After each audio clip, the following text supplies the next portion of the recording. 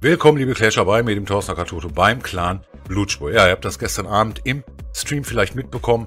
Ich bin mit dem Avatar im deutschen Clan Blutspur. Der Clan Blutspur sicherlich äh, sagt dem einen oder anderen äh, dieser Name noch etwas. War, glaube ich, der erste Clan in Deutschland, die Clan Level 10, 11, 12, 13, 14, 15 war. Und es geht hier rasant auf. Ihr seht das nur noch ein paar Punkte auf den Clan Level 16 zu. Aktuell spielt Blutspur auch in der GML mit und ähm, ich glaube am 18. sind die nächsten Spiele, dann sind schon die Playoffs und ähm, ich hole aber einfach mal weit aus, was eigentlich gestern Abend passiert ist. Gestern Abend ist mir ein kleines Dilemma passiert. Und zwar, ähm, ich lasse einfach mal so den einen oder anderen Kampf hier laufen. Wir sehen hier Forza auf die Nummer 18, auf den Love to 5 heißt es, glaube ich. Und ähm, ja, eigentlich teste ich immer, bevor ich anfange zu streamen, ob ähm, Ton passt, Bild passt, äh, Aufnahmegerät passt, ich alle meine äh, Tablets ha dabei habe und äh, um auch, ich wechsle ja mal ganz gerne aufs Tablet, gerade vor allen Dingen, wenn ich live angreife. Und ähm, das habe ich eigentlich vorher wie, je, wie vor jedem Stream gemacht. Und ähm, checke dann nochmal, wenn der Stream anfängt zu laufen, ob das Ganze auch auf Mobilgeräten ganz gut rüberkommt. Das heißt also, gerade auf Handys ist das dann ja ein bisschen kleiner, ein bisschen leiser, je nachdem. Und dann regel ich das nochmal ein bisschen nach und mir fiel eigentlich zu Anfang gar nichts auf. Stream fing ganz normal an. Ich habe ganz normal angefangen, dann äh, meine Sachen zu zeigen. Wir haben ein bisschen, wir haben ja Clankrieg gesehen aus TV2 ganz hart. Und ähm, aber der ein oder andere hatte dann schon ab und zu mal gesagt, ah, Toto, da hakt es ein bisschen im, im Sound und auch im, in deiner Sprache und so. Ich konnte es aber eigentlich nicht glauben, habe das dann auch, ich habe es einmal gecheckt dann am, am Notebook, da hörte, hörte sich eigentlich ganz normal an, aber zum äh, so auf so auf Mitte fiel mir das dann auch auf. Ich denke, ha, da ist irgendwas ist da im Argen. Habe dann immer mal wieder die äh, Musik neu gestartet und habe an meinem Mischpult vor allen Dingen ähm, den einen oder anderen Regler gedreht, denn ich habe ähm, am Tage hier ganz hart aufgeräumt und wusste, dass ich dort den einen oder anderen Drehknopf erwischt habe mit meinen Lappen und ähm, wusste aber jetzt nicht mehr genau, wie und wo der stand. Ich hatte mir mal äh, von meiner fertigen Konfiguration, also von der Hardware, wirklich ein Foto gemacht, um zu sehen, wo haben die ähm, wo waren die Regler eigentlich und habe mir das dabei geschrieben, auf welchem Pegel die Regler alle waren.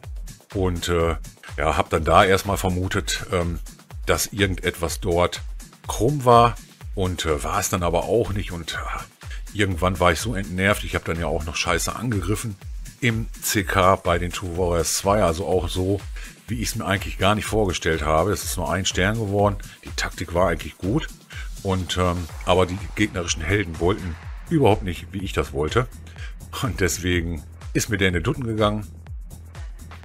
Ähm, hab dann noch ein bisschen hin und her probiert, aber irgendwo habe ich dann gesehen, ah, Leute, das wird nichts mehr. Und habe dann entnervt irgendwann so kurz vor elf den Stream dann ähm, dicht gemacht und habe gesagt, ich hole das vielleicht heute nach oder morgen oder irgendwann äh, die Stunde oder die zwei, die wir dann eigentlich noch hätten gemacht. Und äh, bin dann aber noch mitten in der Nacht äh, daran gegangen, weil ihr wisst selber, solche Probleme, die nerven mich dann extrem ab. Und ähm, da ich ja selber so ein bisschen Techniker bin, habe ich gedacht, was hast du in dieser Woche anders gemacht? Was ist anders gelaufen, als ähm, äh, dass das plötzlich mit dem Sound nicht mehr funktionieren kann? Und ähm, ich bin dann ganz, ganz schnell drauf gekommen, was ich eigentlich anders gemacht habe. Ihr könnt euch sicherlich an die Folge erinnern, die ich diese Woche komplett live gemacht habe, als ich die beiden RH8-Angriffe live gemacht habe und den RH9-Angriff in Clan True Warriors 2. Dort habe ich auch über die Elgato aufgenommen und habe ja mal den Ingame-Sound mit aufgenommen. Das mache ich ja eigentlich nie, denn äh, meistens ähm, hinterlege ich das Ganze ja mit Sprache und Musik. Und ähm, da wollte ich aber mal Ingame-Sound haben, weil ist ja auch mal nicht schlecht, das Ganze dann nebenher an der Stelle mal so zu hören. Und ich bin dann drauf äh, gekommen, dass der Gerätetreiber, also der Elgato äh, Sound Capture Treiber in meinen Aufnahme- und, und in, oder in meinen Wiedergabegeräten an ähm, erster Stelle stand. Das heißt, er war Standard-Wiedergabegerät und das ist er eigentlich nie. Das ist eigentlich immer natürlich irgendwo meine Soundblaster und mein USB-Mikro. Und ähm, also es ist kein USB-Mikro, aber die, das Mischpult geht per USB an den PC und wird dort dann als Mikrofon erkannt. Und ähm, so gab es da wahrscheinlich irgendwo Treiberprobleme oder was auch immer. Der hat dann immer mal wieder über das Device ausgegeben und über das Device. Und das waren eigentlich dann die Hakeligkeiten, die drin waren. Ich habe dann nachts noch einen privaten Stream einfach laufen lassen, um das Ganze äh, wirklich zu checken. Also um wirklich zu sagen, yo, das war's. Und ähm, habe dann nochmal ungefähr eine gute Stunde aufgenommen mit ähm, Aufnahme, aber das Ganze dann ähm, für euch nicht sichtbar. Ich habe das auch wieder gelöscht. Also Sound und Mucke sind wieder in Ordnung bei mir. Ich kann wieder streamen und ähm, schnell gefunden den Fehler, aber trotzdem. Ähm, ihr kennt das sicherlich selber, wenn du etwas hattest, ähm, wo du dir nicht erklären kannst, warum du es plötzlich hast, weil es, das System hat sich ja nicht verändert. Mein Rechner ist ja der gleiche geblieben und ganz abgesehen davon, dass ich ja nur am, am Mischpult vielleicht den einen oder anderen Regler ähm, verstellt habe, äh, konnte jetzt nichts anderes großartig sein, denn softwaremäßig ist bei mir nichts raufgekommen, treibermäßig auch nicht. Und deswegen war, konnte das irgendwo nur irgendwas sein, was sich in den Sound-Einstellungen widerspiegelt. Und ja, so war es letztendlich. Also Fehler relativ schnell gefunden. Ihr habt das dann auch später getippelt. Und ähm, ah, den haben wir schon im Stream, glaube ich, gesehen. Den Smaug und Trotzdem haben wir hier natürlich einen schönen CK zu spielen, beziehungsweise spielen hier einen schönen CK. Und ähm, ich habe noch nicht angegriffen, bin jetzt aber angewiesen gleich, ähm, ja, nicht, ich will nicht sagen, nicht zu locken, sondern ich mache gleich sicherlich äh, Bases, die ich normal nicht machen würde. Aber ich versuche dort einen Stern zu holen und äh, inspiziere mir mal so die Ecken einer Base und äh, gucke mal, was so in der Clanbuch drin los ist. Und äh, dann schauen wir mal, wie das hier eigentlich weitergeht.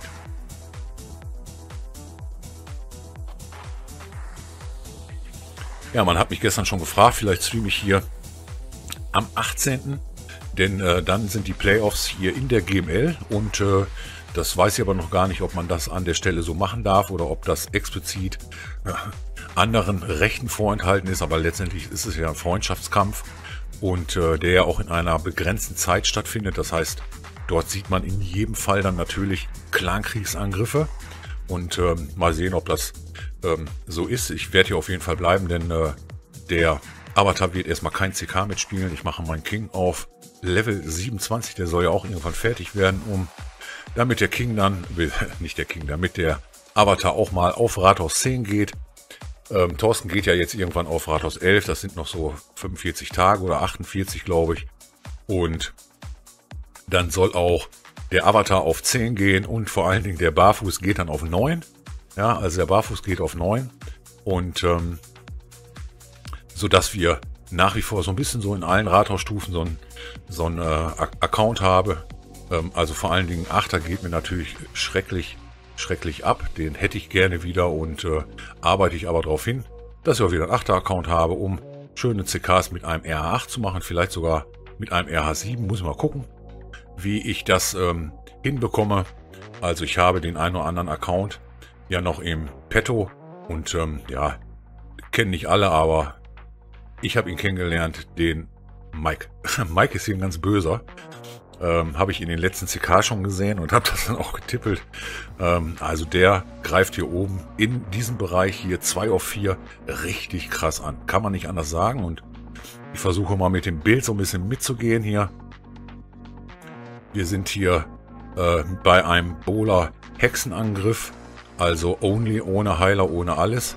Gegen diese Maxed Out Base hier. Ja, sie ist noch nicht ganz Maxed Out. Ich sehe noch so ein paar Bogenschützen-Türme, die noch ausgebaut werden können. Aber ähm, ist doch schon eine sehr, sehr, glaube ich, sehr, sehr starke Base hier an der Stelle gewesen. Und Worden wurde jetzt gerade gezündet und die Masse der Truppen fressen sich hier nach wie vor durch die Base hier durch. Also ist schon krass, was hier an an ähm, Truppen dann in der Base sind.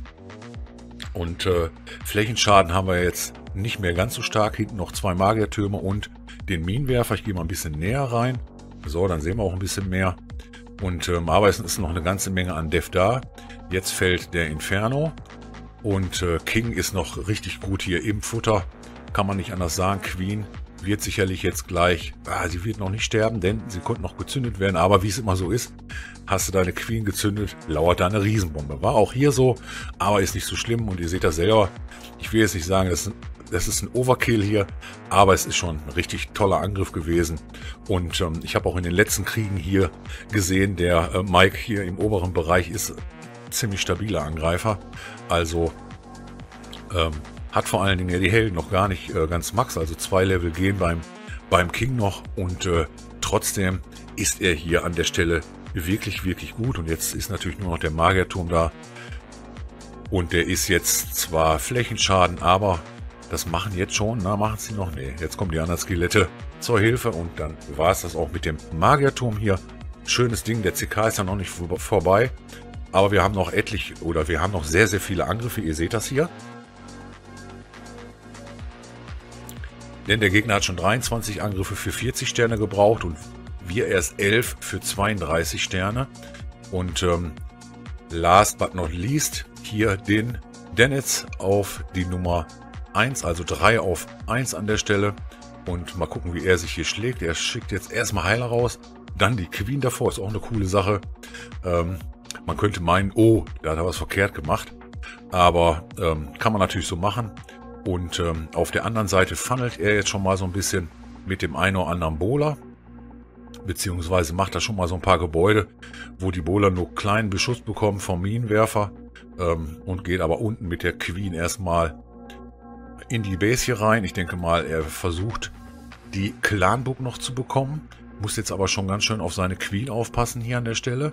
Muss jetzt auch schon zünden, denn jetzt kommt schon der King und die gegnerische CB. Also das ist natürlich auch nicht ganz ohne. Wenn du die hast und die Queen lauert dort auch schon. Ja, also hat er aber das Ganze gut mit Gift gemacht, muss jetzt aber die Queen doch zünden und ähm, schafft jetzt aber die gegnerische Queen. Ja, super gemacht. Ich sehe den Angriff jetzt auch das erste Mal und kommentiere ihn eigentlich live. Ähm, kommt dann von der komplett anderen Seite dem Rathaus entgegen und dem der Adlerdev entgegen. Und äh, ja, cool gemacht. Queen ausschließlich für die CB und für die Helden genutzt und King und den Rest dann letztendlich für das Rathaus und äh, ja, für alles andere hätte ich mal fast gesagt. Aber der King macht das Rathaus super gemacht hier. 54 Prozent zu diesem Zeitpunkt schon. Und die Queen geht ja immer noch ganz behändig hier rum. Ist auch eine echt komische Base, habe ich auch noch nicht gesehen. So ein krummes Design hier hat jetzt noch ein paar äh, nicht Cleanup-Truppen, aber noch ein paar Truppen, die hier vielleicht den einen oder anderen Prozent noch reißen. Das gelingt ihm an der Stelle auch, aber die Adlerdev nimmt sich jetzt hier den, den Babydrachen und dann war es das auch, der war vorher schon Geschichte. Also 62 Prozent ist, finde ich trotzdem toller Angriff hier und ich bleibe hier auf jeden Fall am Ball. Also technische Probleme gelöst. Ich äh, plane meinen Ersatzstream mit euch. Ich weiß noch nicht, wann ich es machen äh, kann, aber bleibt einfach bei mir dran.